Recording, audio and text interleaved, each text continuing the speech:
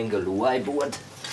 Der braucht er da hübsche Luft, ah, weißt Weil das Gebläse braucht da Luft. Verstehe. Ja.